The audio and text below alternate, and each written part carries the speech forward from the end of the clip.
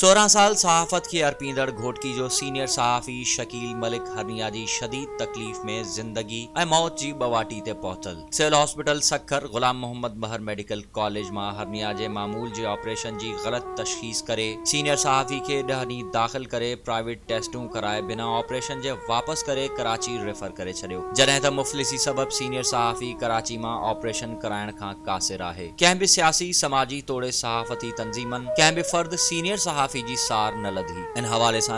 सां सहाफ़ी शकील मलिक मीडिया सां ॻाल्हाईंदे चयो त असां घोटकी ज़िले में सहाफ़त कई आहे ऐं आला अहिवाननि ताईं सियासी समाज अॻुवाणी जो आवाज़ु संभलंद कयो आहे पर अफ़सोस इहो थियो आहे जॾहिं असांखे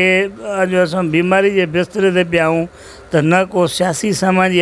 असां सां मिलणु आयो आहे न कंहिं असांजी का माली सादा कई आहे ऐं अॼु सत्रहं ॾींहं मां हुते सिविल हॉस्पिटल सखर में दाखिल हुयुसि एडमिट हुयुसि जेको उन्हनि मूंखे सत्रहं ॾींहं प्राइवेट टेस्टूं कराए कराए मूंखे हच कराए छॾियो बजाए बजाए उन जे बावजूदि सत्रहनि ॾींहनि खां पोइ उन्हनि मूंखे रेफर लेटर ॾेई छॾियो तुंहिंजो हिते ऑपरेशन न आहे सखर सिविल गुलामद मेडिकल जेकी आहे उन वटि त हुननि चयो त तव्हां हाणे कराची वञो वञी कराची इलाजु करायो तव्हांजो हिते इलाजु न आहे हाणे मूंखे ॿुधायो त साईं असां मिसकिन माण्हू जेके हुया घर जा टपाढ़ी विकितासीं चालीह खां पंजाह हज़ार असांजो ख़र्चु अची वियो आहे सखर सिविल हॉस्पिटल में असां सत्रहं ॾींहं हुते रहिया आहियूं टेस्टूं प्राइवेट थियूं नी का बि हुते ट्रीटमेंट कोन्हे सखर सिविल हॉस्पिटल में कंहिं बि क़िस्म जी फैसिलिटीज़ न आहे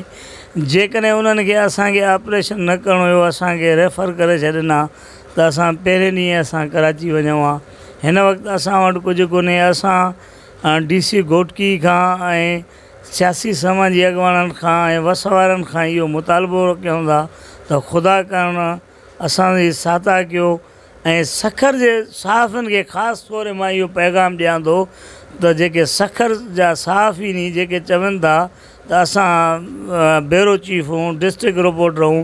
कंहिं बि सार संभार असि न लदी अथई सतरहंनि ॾींहंनि में मकसद को साफ़ ही लड़ी ना आयो आहे को सियासी समाज अॻियां लड़ी ना आयो अज अस मजबूर थी तट वटि आया आहियूं जे ख़ुदा करणु असांजी मदद कई वञे तो तव्हांजी महिरबानी थींदी बीमारी के बिस्ते ते के चवनि था हरनी आहे के चवनि था पिण था टियों ऑपरेशन थे तो पो पर माल महिल को असांखे रिज़ल्ट न मिलियो आहे वरी थी थो वञे पियो ऐं हाणे मूंखे हुननि रेफर लेटर ॾिनो आहे कराची जो कराची जेतिरी मूंखे सघे मां मौलाई माण्हू